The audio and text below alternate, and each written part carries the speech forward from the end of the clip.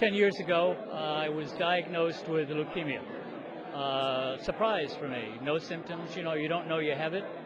Um, back then, the only, uh, the only cure for leukemia was a bone marrow transplant.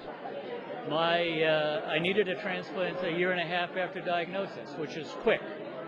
Uh, no brothers, no sisters, no unrelated marrow match in the registry. They sent me home to get my affairs in order happened to be in the right place at the right time for a clinical trial using cord blood stem cells instead of bone marrow. Um, the trick was to see if a small unit of cord blood could transplant a very large, very ill adult. And uh, in order for that to go forward, uh, the New York Blood Center's cord blood program was able to find a perfect match for me in their inventory. Some mother had done 10 years ago what mothers weren't doing and that was to donate her newborn's cord blood to a public inventory. And that was my one and only perfect match. The rest is history. Here I am. How do you feel? I feel um, delighted with my good fortune.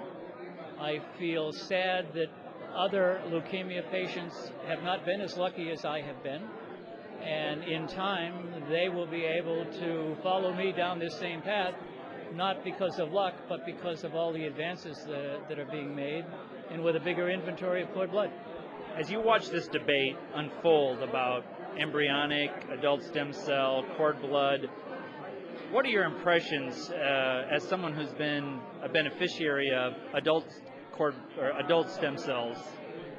Uh, I feel bad for the patient community.